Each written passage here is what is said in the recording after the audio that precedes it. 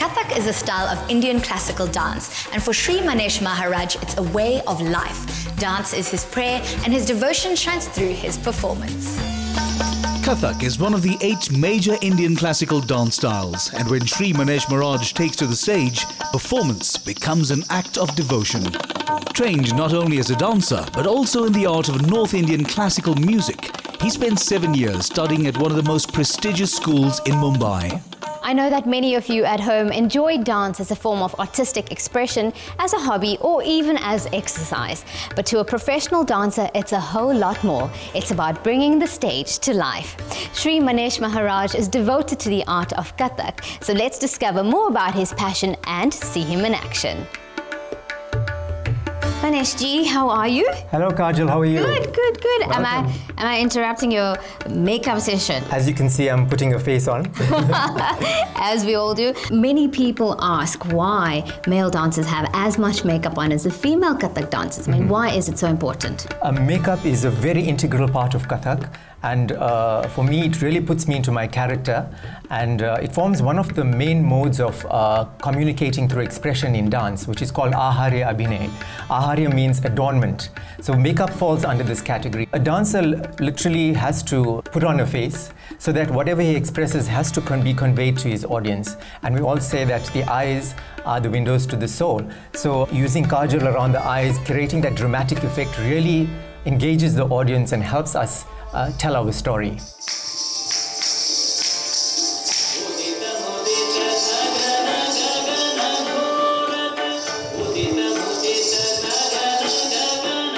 Kathak is characterized by hand gestures, jumps, and footwork. Tell me more about the origins of Kathak and where did the storytelling aspect come from? Kathak has its origins in the remote temples of northern India.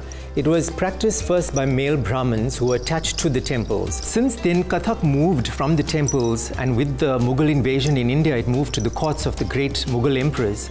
And here the focus shifted from worship to more a form of entertainment. Maneshji, what is the purpose of bells or ghungroos? See, one of the salient features of Kathak is the footwork. The bells play or the ghungroos play a vital role in Kathak dance and it is a medium of us communicating rhythm with the audience and with our musicians. What are you performing for us today and is there anything in particular I should look out for? The first piece is a kirtan uh, in praise of Lord Krishna. The item displays a group of peacocks roaming the Vrindavan forest, uh, eagerly awaiting the monsoon rainfall and uh, they mistake Krishna's dark complexion uh, for the monsoon clouds. So they spread their plumage and begin to dance in ecstasy.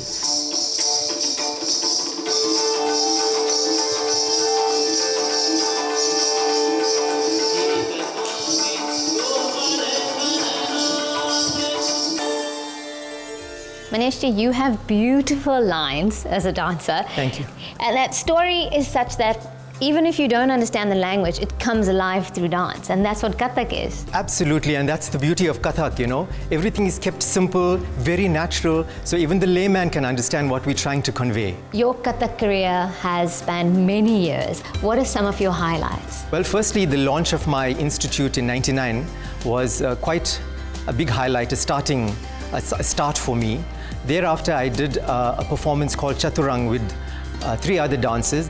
Recently, I performed an amazing production at the Playhouse called Bhakti. I'm very excited for your next piece. Tell me more about it. This item basically uh, is entitled Durga Stuti. It propitiates the mighty goddess Durga uh, in her very various attributes. Uh, we all know that she's the slayer of demons, so the item portrays her having a fierce battle with the demon Mahishasura. At the same time, she is very merciful to her devotees who seek refuge at her feet. So this item is set to Rag Shri Tal Tevra of seven beats.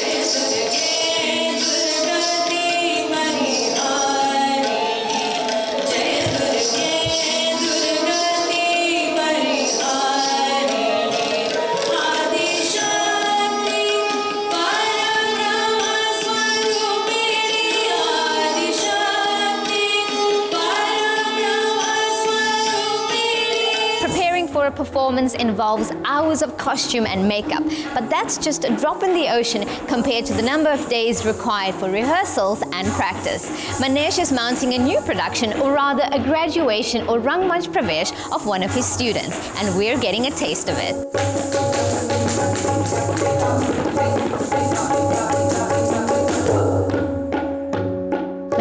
You mentioned your institute was launched in 1999. Tell me more about it. Kala Darshan was launched in 1999 with the aim to preserve and advance Indian classical music and dance in South Africa.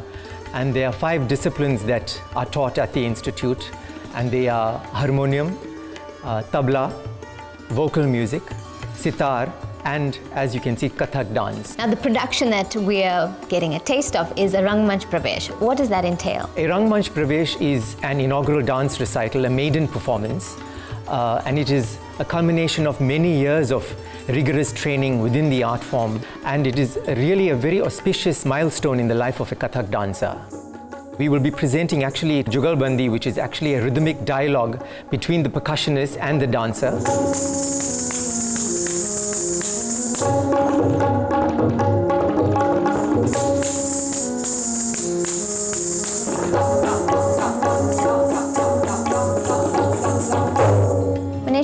What goes into the preparations of a Rangmanch Pravesh? It takes appro- approximately a year to start planning for it. And I try also and um, include the dancer in the behind the scenes, the admin work, the costumes, uh, phoning the press, um, be it the brochure as well, so that they get a holistic approach to the art form. I believe I'm joining your masterclass. I must admit, I'm a bit rusty, but I hope I can keep up with your girls. Let's give it a try.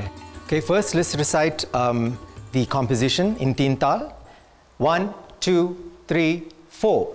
Da din din da da din din da da din din da da din din da da da din da da te da te te ya te ya te ya ta te ta te ta ta te a ah, te a ah, te a ah, te ta ta te te ya te ya te te ta ta ta. Te ya te ya te te te a te chakar. Te ya te ya te ya te te ta ta ta. Well done Kajal. Very good. Thank you very much, Maneshji. Kathak is a classical dance form that is very dear to my heart, and watching Manesh and his students perform today brought back many fond memories for me. For Manesh, dance is an act of devotion, but I think no matter what your belief is, we can all appreciate the sheer beauty of the art.